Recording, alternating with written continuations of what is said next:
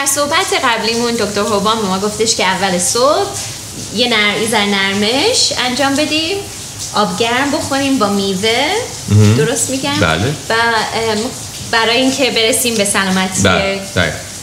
کل شما بعد, بعد از این چیکار دوست دارین میریم انجام میخوابم؟ دوباره کاش کاش میشه. بعدش دیگه خب بالاخره پا میشیم و بریم ببینیم دنیا چه خبری دیگه. بله. اگر که فرصت بشه یه ورزشی یه شنایی.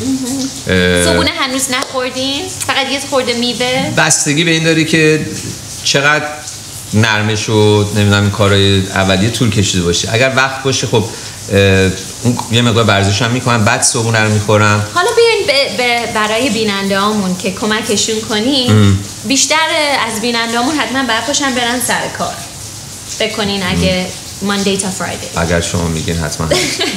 حالا اگه اینا وقت ندارن که ورزششون رو انجام بدن دارن فقط حاضر میشن که برن سر کار. خب. می آ- یه ذره آب گرم بخورن میوهشون هم بخورن. صبحونه چی بخورن؟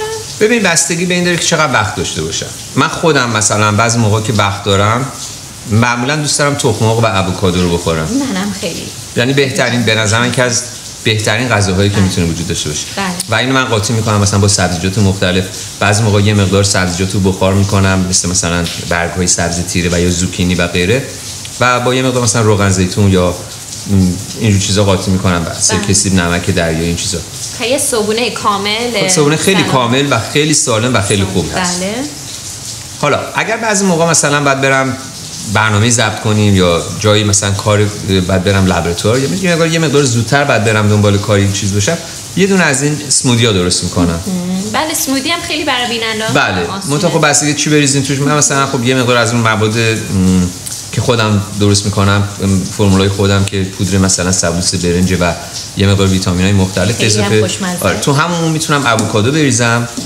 و بعضی موقع مثلا توت فرنگی میریزم یه- شاید یه که موز بندازم و یه مقدار با سبزیجات مختلف یه مقدار زیاد سبزیجات maybe یه ذره آب یا آمن میلک بله بعد یا با آب معمولی یا با مثلا شیر برنج یا شیر اه، بادم بله. و یا اینجور چیزا درست می‌کنم قاطی می‌کنم و بعد میرم دنبال کارم دیگه. که خیلی حتی تو ماشینم هم مصرف کنم اینکه دکتر روبان برای منم از اینا درست کرد بله. حالا یه بارم جلو دوربین برای دوستان بله. درست کنیم یه- بله. یه آشپزخونه را بندازیم.